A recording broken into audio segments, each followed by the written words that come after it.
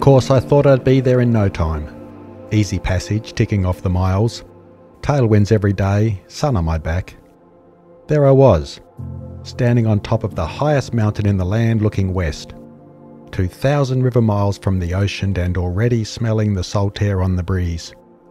But of course, the most important journeys never go to plan.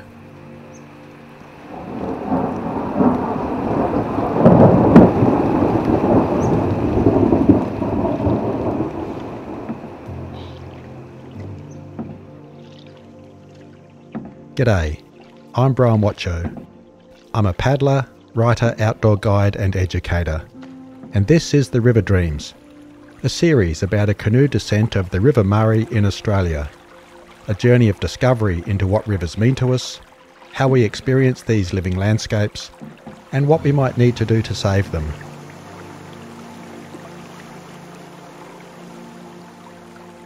I paddled four different river craft at the end of Australia's harshest drought, down the length of Australia's greatest river, the Murray. But it's only now, years later, that I'm coming to grips with that journey, as experience, memory, knowledge, family history become increasingly entangled. I was alone in a canoe I built with my grandfather's tools block planes, spokeshaves, chisel, and mallet from Kosciuszko to the tall wharves at the inland port of Echuca, with its music of steamboat whistles and its echo of colonial commerce. Alone again in a K1 racing kayak, with barely the clothes on my back. I paddled far out onto the ancient floodplain in a craft so tippy that it was like balancing on a knife blade, to see what I could learn in the school of hardship. Then paddling again from Lock 15 with my 15 year old daughter Bess, who I had pulled away from the rows of school desks for a precious month. 600 miles of dawn starts, killing heat, campfire yarns and songs, going to movies in the big river towns where the air conditioning was always on, and where our shopping bags always bulged with plump riverland oranges. Then back on the river, paddling through lightning storms, a red gum forest on fire, chasing weather reports downstream from locals who knew that you don't move from the shade after midday. Riverbend after riverbend, all slowly bringing us back to the old farm, where we rested and listened to stories about the old times. And then, one last time, skipping across the surface like a pebble, where the lower river runs beneath the limestone cliffs past bulrushes rubbing against each other in the rising wind, and across the dangerous lake named for a princess, who would become a queen and change her name to Victoria. But the cartographer's ink was already dry on the map. How exotic that name, Alexandrina, sounds now, alongside Coorong, place of the narrow neck, a name from the old language which rings in the ear like a wise bird calling me to fall asleep in the sand dunes. Drifting off to the longed for beat of the sea, dreaming about the boy in the storm. And then, at dawn, that last morning, one last fire on the beach, boiling the billy like all those times before, except that this was the last time. Then once more to pick up the paddle with calloused hands dip it into the water again, reach and twist and pull again, all in the hope of finally coming home to the sea.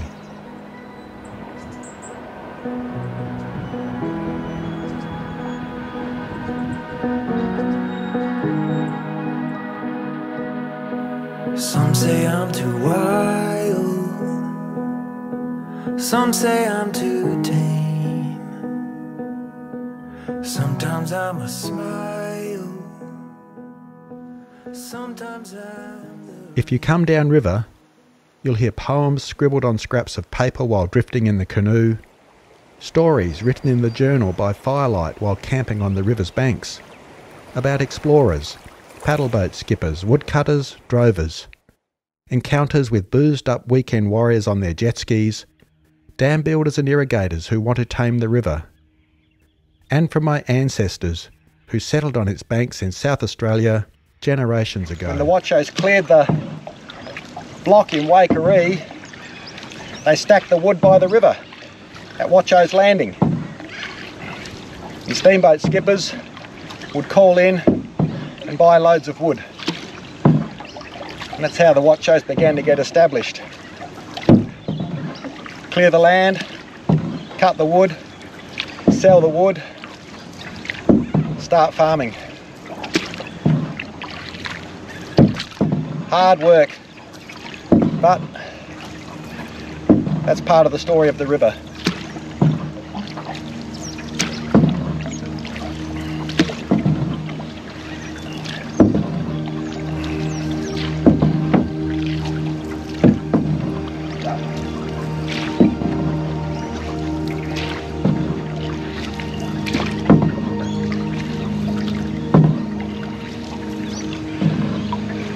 Guess that's one of the reasons why I feel so drawn back to the river. There's both the river itself, which is magnificent, and its great ecology of bends and meanders and flow and wildlife and billabongs floodplain. And then there's the human story. For thousands of years. And part of that story is part of the Wattchow story.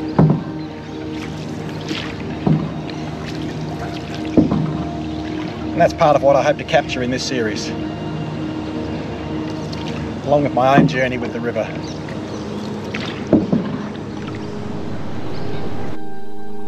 The Murray is so many things to so many people. It can seem beautiful one day and wounded the next, vital to the national economy, but a place of division and conquest. And it's a landscape we have trashed. Cattle and sheep graze the river flats and erode its banks. I've seen more feral goats than kangaroos drinking from the edge of the river. European carp displace Murray cod. English willows push red gums away from the water. Blue green algae, salinity, and blackwater events impact the river's health.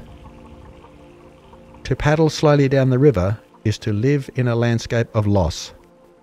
But living with the river so closely for so many weeks, I came to see it as a great ribbon of life.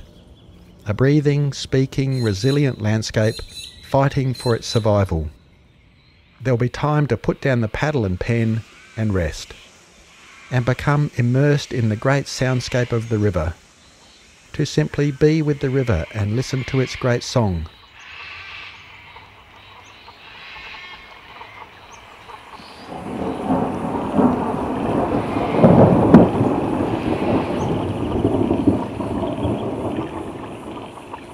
Yes, there is history, ecology, politics, even philosophy to account for on the river. But mainly, this is the story of what one person saw, heard, and felt while paddling and living on the river for 70 days. But for now, I sit quietly and begin to fall back into those memories, to drift again in that slow flowing current, and to go only where the river goes. This is the River Dreams, and in episode 2, we begin the journey in the snowy mountains, the headwaters of Australia's greatest river. Some say I'm too wild. Some say I'm too tame. Sometimes I'm a smile. Sometimes I'm the. I'm carrying these secrets. Kept them locked down low. But I need you to hear them so I can.